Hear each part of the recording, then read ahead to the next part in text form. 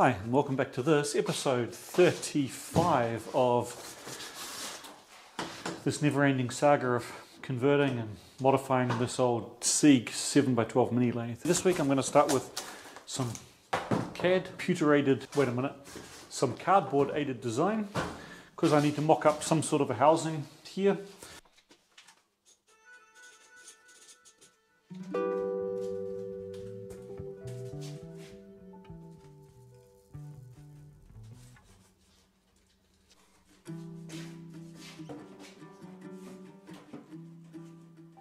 This is going to be a bit of a sort of just make it up as you go along fabrication. Yeah, the whole thing's could have been designed a lot better if I'd thought this through from the start. Probably also starting with a completely different concept for the uh, enclosure. Next part to make will be the monitor carrier.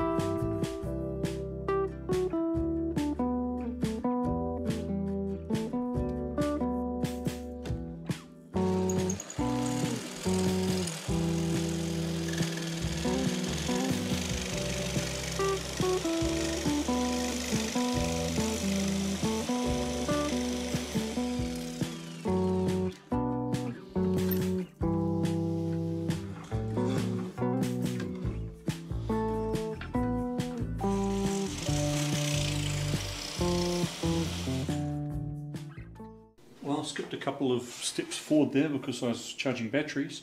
As you can see, I've now finished off the housing for the monitor and I've just held it together with a couple of Cleco clamps just to mock it up. Yeah, that's looking quite nice, I think. Should fit flush with the top of the rest of the enclosure.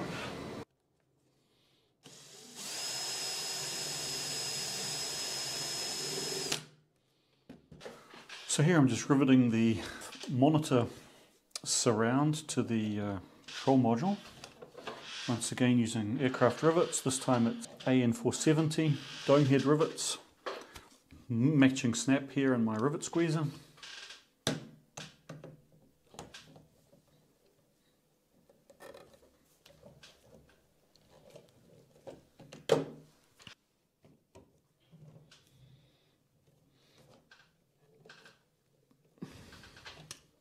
My friend Jurgs had some bearing issues on his beautiful Schaublin 125 CCN lathe. So I went to take a look. So this is the spindle headstock. So these are the bearings that came out of it. And you can see that the rear bearing is very loose and in fact was spinning in service which has caused contact corrosion. Jurgs measured this bearing as about 9 one hundredths of a millimeter undersize.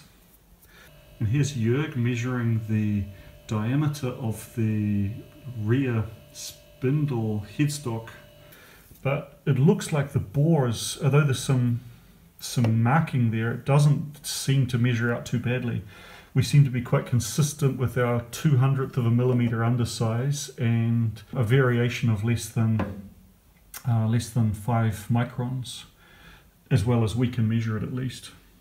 So we're using the bearing spacer as a way to hold it more rigidly and we can see basically zero run out in the forward bearing uh, seat. Looks perfect. If anyone's interested, I'll put a link to the forum thread about his spindle bearing replacement. Now while I love these kind of rounded swoopy castings you get on these older 1950s designed machine tools, a nice thing about more modern squared off machine tool design is you can put junk on top of it. So what I think I'm going to do is take this piece of steel plate, mill out a recess into it, put in some uh, lino or rubber or something and have that as a spot to dump tools and stuff. You know, lately I've been watching videos from and communicating with a guy up in Denmark called Nikolai. He's still pretty much getting started with his uh, YouTube channel, Nikolai Owns. I'll put a link up here in the top corner somewhere. Where I'm just a guy playing around in his basement with these things, he's the real deal, an actual machinist trying to make money with this stuff.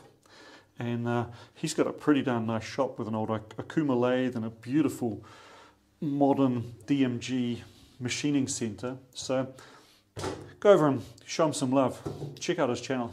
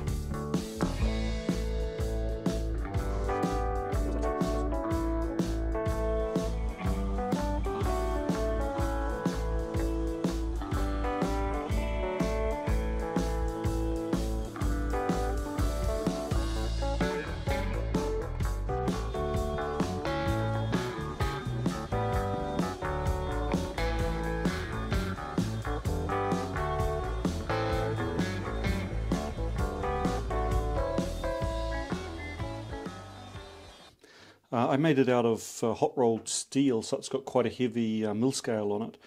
I'm not going to bother milling it all over and prettying it up. It's As I say, it's only a tool tray. Tools are going to be put down on here.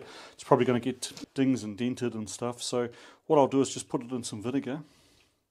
Because vinegar, like any acid, will convert the, whatever it is, iron 3 oxide to iron 4 oxide or other way around or anyway, it converts the uh, mill scale into an oxide which can be easily just washed off.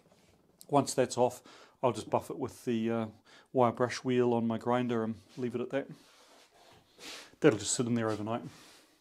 Day two. So that's now been soaking overnight in the vinegar, and you can see that the mill scale is now flaking off. That's the, the conversion process that the, that the acid does.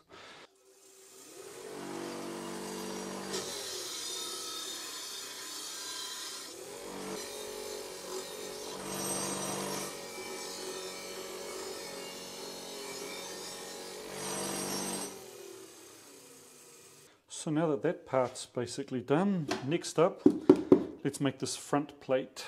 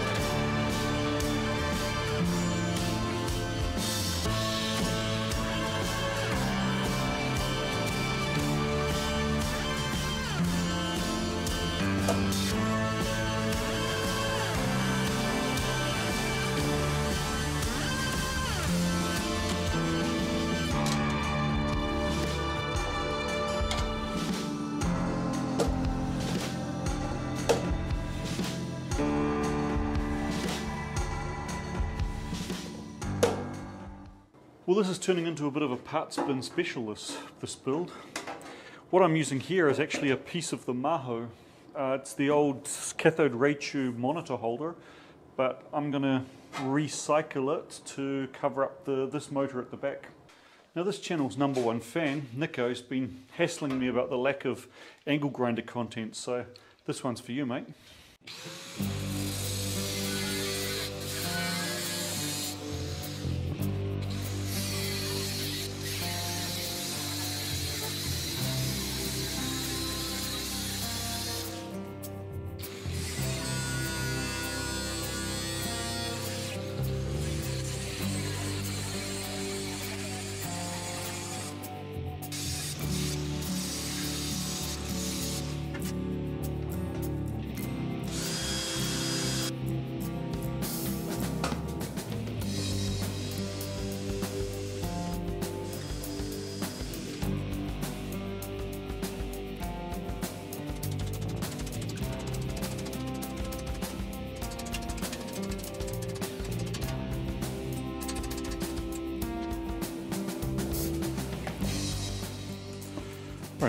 The, last piece of this puzzle.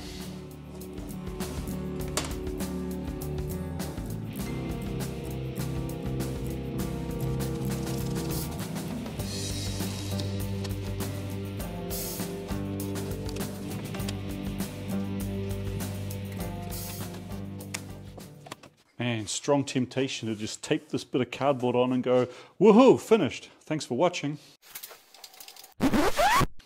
Tom from the German Zerspanungsbude website was pretty disgusted that I used the socket head screws to hold the keyboard on.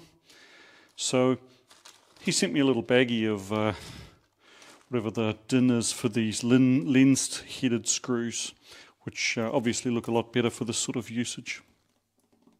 I mean, really, what I should have done was make a nice chamfer and mount this keyboard from the back of the plate. Unfortunately, I didn't think of that at the time. Thanks, Tom. That's a great improvement.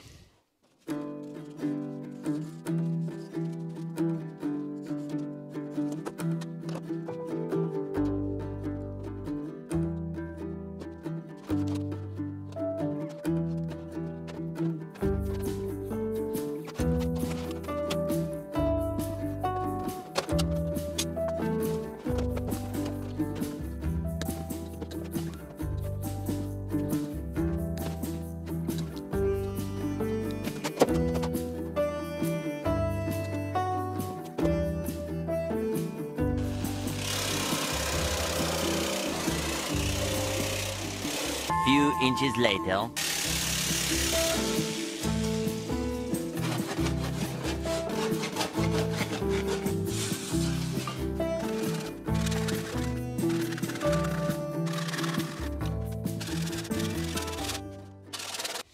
Well, it's slowly starting to come along. Just need to drill all the holes to screw it around the edges. I've already done, the bottom. Then I need to bend this back flange around and drill its fastening holes.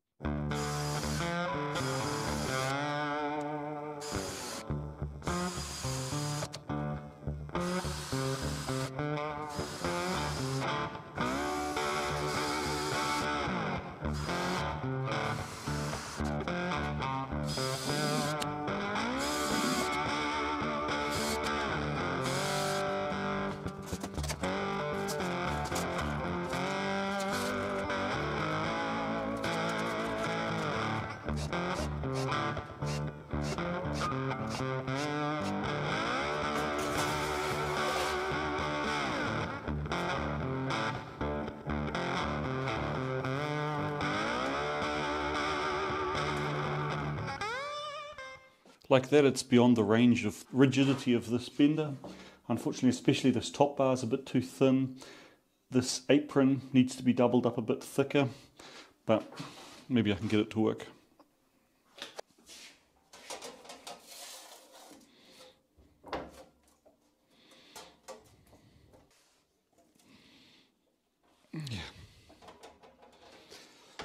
Yeah, so it's a bit more rigid around down at the end here.